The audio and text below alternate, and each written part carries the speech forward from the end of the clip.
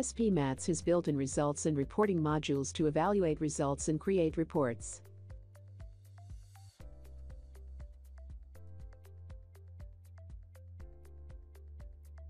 The Reporter module can be accessed from within the main program window by clicking the Reporter button in the ribbon. Alternatively, Reporter module can also be accessed by pressing the F7 key. The Reporter module enables the user to view, customize, print and export reports in different formats. If the model has not been solved, then the Reporter module will only contain tables related to inputs. When a model has been successfully executed, the Reporter module will also display the output data tables. Users can navigate the report using the table of content or by using the Explorer panel. The Explorer panel consists of all the available report items, classified into sections and arranged hierarchically. Each item listed in the Explorer panel is preceded by a checkbox the user can check or uncheck the checkbox to include or exclude the items or sections from the report. Based on the user needs, reports can show inputs and outputs for the entire model, or for a specific range of nodes and elements.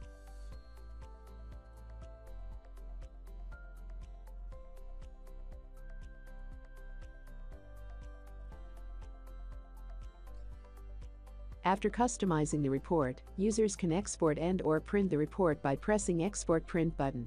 The report can be exported in various formats. Once the Work in Reporter module is complete, click the Close button in the top right corner to exit the Reporter window.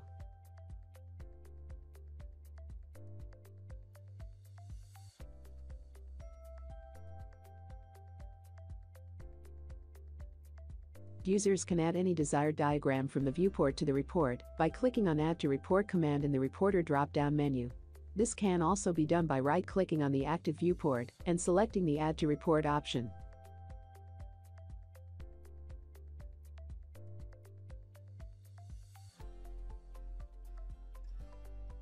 The diagram in the active viewport can be printed or exported directly using Print Export command in the Reporter drop-down menu. The same command is also available in the right-click menu of the viewports.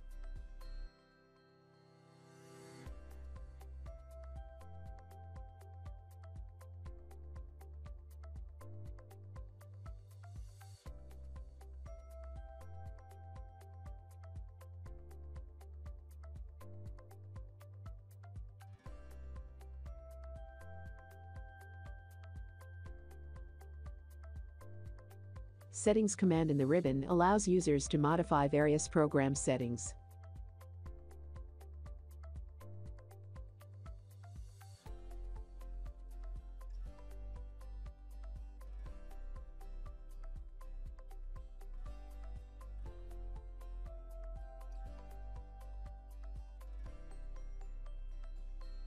spMats also features several import and export options grids, loads and load combinations can be imported and exported.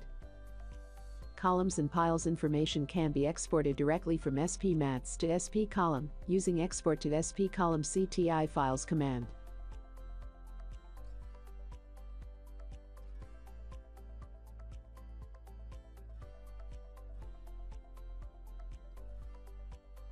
Thank you for watching. Please visit structurepoint.org for more information.